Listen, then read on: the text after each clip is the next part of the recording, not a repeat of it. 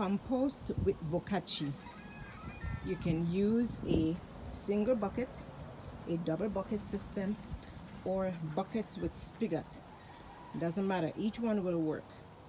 Get perfect results. This is a picture of a perfect bokashi bin after two weeks.